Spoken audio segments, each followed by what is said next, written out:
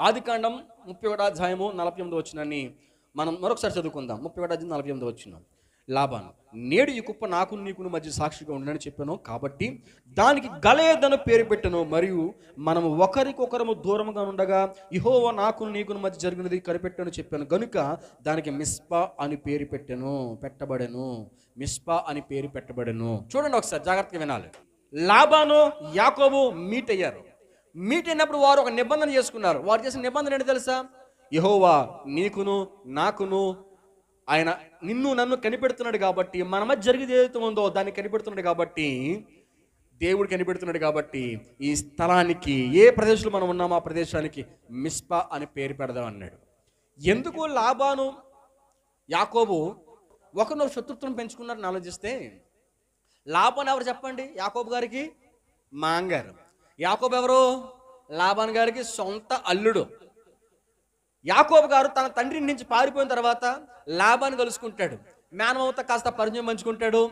మేనమామ గారి యొక్క కుమార్తెను చూస్తాడు. ఆమె ఎవరంటే?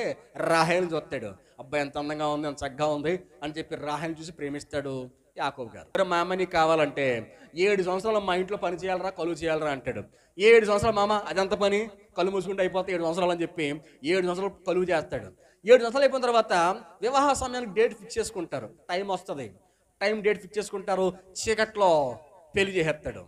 తెల్లవారు అవుద్ది ముసుగు తీస్తే రహేలు ఉండవలసినటువంటి ప్లేస్లో ఎవరున్నారు? తన అక్క. జబ్బు గలది జబ్బు కంట్ల గలది. లేయ ఉండేసరికి మామా అన్నాడు.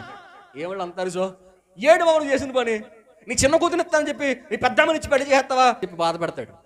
అల్లుడు మా వంశం ప్రకారంగా పెద్ద పిల్లకి పెళ్ళి అవ్వకుండా చిన్నపిల్లలు ఇచ్చి పెళ్ళి చేయాలంటే కష్టమైన పని. అలా కుదరదు. అందుకని మా పెద్దమ్మని నుంచి పెళ్ళి చేసేసాను. నా చిన్న కూతురు కూడా ఇచ్చి పెళ్ళి చేస్తాను. అయితే మరలా ఏడు సంవత్సరాలు కొలువు చేయాలంటే మాంగారు నీ చిన్న కూతురు కోసం కదా ఏడు సంవత్సరాలు కొలువు చేశాను. అదంత పని? కలు మూసుకుంటూ అయిపోతుందని చెప్పేసి మరలా ఏడు సంవత్సరాలు కొలువు చేస్తాడు.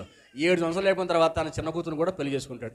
పెళ్ళి చేసిన తర్వాత మొత్తానికి పద్నాలుగు సంవత్సరాలు అయిపోద్ది. వారు బిడలు పుడతా ఉంటారు. ఆస్తి కలుగుతూ ఉంటది. మరలా యాకోబు గారు ఆరు సంవత్సరాలు ఎక్స్టెండ్గా పని చేస్తాడు. ఇరవై సంవత్సరాలు పని చేస్తాడు. మాంగారి దగ్గర యాకోబు గారు ఇరవై సంవత్సరాలు ఉన్నాడు.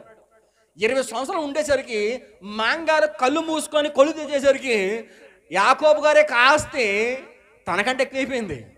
వారలు అయిపోయాడు ఇడు ఏమీ లేకుండా వచ్చాడు. నాకంటే ఆస్తి ఎక్కువైపోయింది వీడికి. నా కొడుకు ఏముండదని చెప్పేసి వీడిని ఎలాగైనా పంపించాను ఉద్దేశంతో కుట్ర పని పంపించే పనిలో ఉన్నప్పుడు యాకోబు గారు అర్థమైపోద్ది మా మాంగారు బలవంతంగా పంపించేలా ఉన్నాడు. మా మాంగారు పంపించే ముందే వెళ్ళిపోతే బాగుంటుందని చెప్పేసి పరులు తన ఆశతో తన భార్యతో తన బిడ్డలతో వెళ్ళిపోతా ఉంటాడు యాకోబు గారు.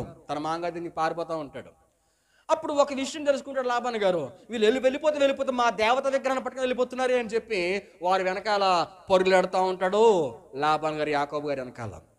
ఆ రాత్రి గల సమయంలో లాభాన్ గారికి దేవుడు ఒక వార్నింగ్ ఇస్తాడు. తెలుసా వార్నింగ్ ఏంటో? ఇరవై నాలుగు వచ్చిన ముప్పై ఒకటి అధ్యయం ఇరవై నాలుగు వచ్చిన. ఆ రాత్రి స్వప్నమందు దేవుడు సిరియావాడైన లాభాన్నకు వచ్చి ఓయ్ నువ్వు యాకోబుతో మంచి కానీ చెడ్డ కానీ పలుకకమో జాగ్రత్త సుమే అని అతనితో చెప్పెను.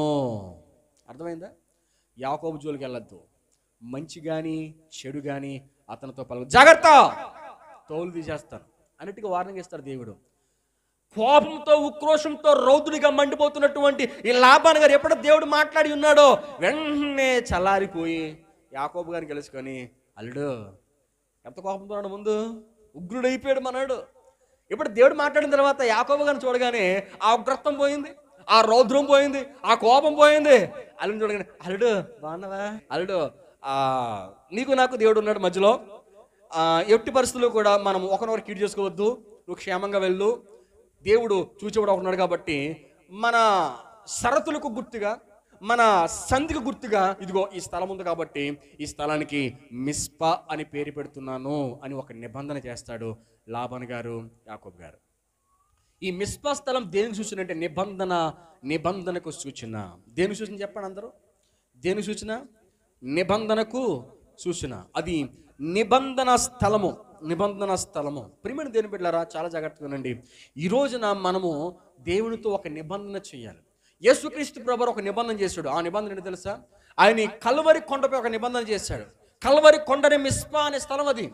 ఆ కొండపై యేసుక్రీస్తు ప్రభు ఒక నిబంధన చేశాడు. ఆ నిబంధన ఏంటి తెలుసా? ఈ ప్రపంచంలో ఉన్నటువంటి మానవాళ్ళందరి పాపాలు ఈ నిబంధన రక్తంలో కడిగి వేయబడును గాక అని చెప్పి ఆయన రక్తము కాచి దేవునికి నీ మనకును మధ్యలో ఉండి ఆయనకి మనకు ఎప్పుడో ఎడబాటు దేవునికి మనకు ఆ ఎడబాటును తొలగించి ఏం చేశాడు? ఆయన దగ్గర సంబంధం కలిపేశాడు. నిబంధన చేశాడు యేసుక్రీస్తు ప్రభా. ప్రియమైన సోదరులు మనము కూడా దేవుని సన్నిధానంలో చాలా సందర్భాలు మన నిబంధన చేస్తాం. ప్రభా నాకు పెళ్ళి చేస్తే నేను ఆ విధంగా నీ పనిలో ఉపయోగపడతా ఉంటాను. ప్రభా నా కుమారుడికి రోగం పోతే నేను ఆ విధంగా నీకు దగ్గరగా ఉంటాను. నీకు చేయవలసినటువంటి పని ఏదైతే ఉందో ఆ పనిలో పాలుభావిస్తులు అవుతాను. సువార్తలో పాలుభావిస్తులు అవుతాను. లేకపోతే ద్రవ్య రూపంగా సంఘ కార్యక్రమాల నిమిత్తము సంఘములో ద్రవ్యం ఉన్నట్లు నేను చేయూతను అందిస్తాను. అని చాలా సందర్భాల్లో మనం మొక్కుబడులు చేస్తూ ఉంటాం. చేస్తామా లేదా? తప్పకుండా చేస్తూ ఉంటాం. కనుక ఆ మొక్కుబడులను మనం ఏం చేస్తామంటే మర్చిపోతూ ఉంటాం. నేను చర్చిలో మైక్ కొనుక్కుంటున్నాను అని చెప్పి సంవత్సరం క్రితం నిబంధన చేస్తాం మనం. సంవత్సరం క్రితం నిబంధన చేస్తాం మనం. సంవత్సరం అయిపోద్ది మైక్ మాత్రం రాదు. మర్చిపోతాం. నేను ప్రతి నెల ఈ సంపూర్ణ రాత్రి ప్రార్థనలో పాలు ప్యాకెట్స్ నేను ఇవ్వాలనుకుంటున్నాను అని మొక్కుబడులు చేస్తారు. కానీ ఆ మొక్కుబళ్ళు మర్చిపోతాం. నేను డ్రింక్స్ నేను ఇవ్వాలనుకుంటున్నా.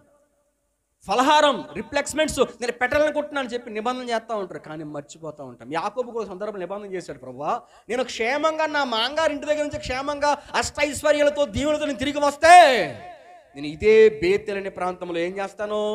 నేను మొక్కుబడి చేసినట్టుగా ఈ స్థలంలో బలి అర్పిస్తాను అంటాడు. వచ్చేస్తాడు మనోడు మర్చిపోతాడు. మర్చిపోయిన తర్వాత దేవుడు గుర్తు చేస్తాడు. ఎలా గుర్చాడు తెలుసా? దెబ్బడుతాడు కానీ యాకోబు గారికి మబ్బు కట్టదనమాట మబ్బు గెడుతాను కానీ యాకోబారికి ఆ తలంపు కూడా రాలేని పరిస్థితి ఏర్పడుతూ ఉంటుంది. తన కుమారులు నరహంతులుగా మారిపోయారు. తన కుమార్తె విధవరాలు అయిపోయింది తన కుమారు నరహంతులుగా మారితేనే కానీ తన కుమార్తె విధవరాలు అవుతేనే కానీ అప్పటికని గుర్తు రాలేదు దేవుడు చేసిన నిబంధన. దేవుడే అంటాడు యాకోబో ఇప్పుడు వెళ్ళవయ్యా బేతలకి. వెళ్ళు మొక్కున్నా కదా మొక్కుబడి చలించే. దేవుడు మరలా మాట్లాడుతాను కానీ యాకోబు గారికి బొబ్బు కట్టిన బుద్ధి రాలేదండి. ఈరోజు నా చాలా సందర్భాల్లో నెడ్డు వంగితేనే కానీ కొంతమందికి జ్ఞానోదయం అవ్వట్లే. నడ్డి వంగితేనే కానీ ప్రార్థన గదిలోనికి రావట్లే. నడ్డు వంగితేనే కానీ నువ్వు కుదుర్చుకున్నటువంటి ప్రతిష్ఠించుకున్నటువంటి ఒప్పందం కుదుర్చుకున్నటువంటి నీవు సంధి చేసుకున్నటువంటి అవేమి గుర్తుకు రావట్లే. ఇక నుంచైనా సరే మానకొండ మందిరానికి వెళ్తాను నేను. ఏ వారకు డుమ్మ కొట్టనేనో ప్రతి వారం మందిరంలో ఉంటాను నేను అని చెప్పి చాలా సందర్భాల్లో నీవు మొక్కున్నావు. కానీ ఎందుకో నువ్వు తప్పుడు అడుగులు వేస్తూ ఉన్నావు మందిరానికి డ్రాప్ అవుతూ ఉన్నావు. దయచేసి కరెక్ట్ కాదు. నేను మానకుండా ప్రతిరోజు కూడా పడుకున్నప్పుడు గంట లేచినప్పుడు గంట ప్రార్థన చేస్తాను అని మొక్కున్నాం మనం. కానీ ఎందుకు ఆ మొక్కుబడి ఆ నిబంధన మీరేస్తా ఉన్నాం. దయచేసి చాలా జాగ్రత్తగానండి. దేవుడు దెబ్బ కొట్టకముందే దేవుడు నీకు సినిమా చూపించకముందే ఏం చూపించకముందే సినిమా చూపించకముందే మనం ఏం చేయాలి? సెటరేట్ అయిపోతూ ఉండాలి.